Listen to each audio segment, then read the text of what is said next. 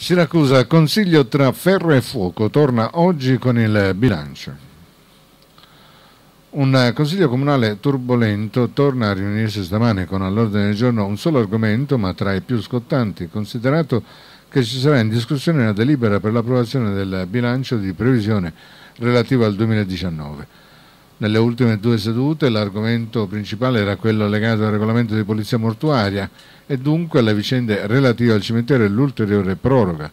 Nell'ultima seduta è caduto il numero legale, in seconda sessione dopo l'appello erano presenti solo 11 consiglieri su un minimo di 14 per dare il via ai lavori. Oggi una seduta diversa anche se le posizioni critiche e polemiche, peraltro già annunciate in alcuni casi, non mancheranno. Ancora una volta la Presidente del Consiglio Comunale Moena Scala ha convocato i consiglieri comunali nei locali dell'Urban Center di via Nino Bixia perché la sala Vittorini al quarto piano di Palazzo Vermexio momentaneamente non dispone di aria condizionata.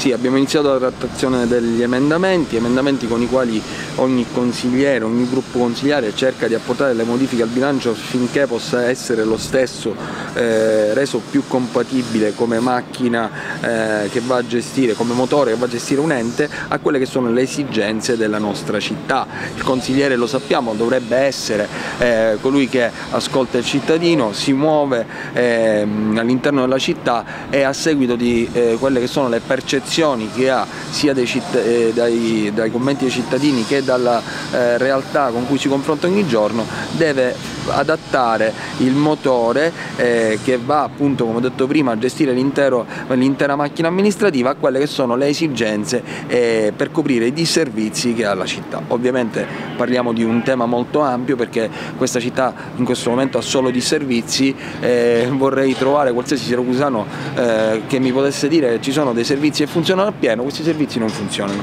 Eh, come gruppo abbiamo eh, presentato 46 emendamenti, siamo il gruppo che ha presentato sicuramente eh, in termini di spostamento di somme eh, la maggiore eh, variazione in assoluto eh, e abbiamo anche dichiarato che qualora anche solo uno dei nostri emendamenti non dovesse essere approvato reputeremo questo bilancio un, un,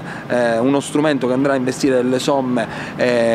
producendo uno sperpero del denaro pubblico e pertanto saremo contrari all'approvazione di un bilancio che non guarda alle esigenze del cittadino ma guarda degli obiettivi che a nostro avviso non sono condivisibili.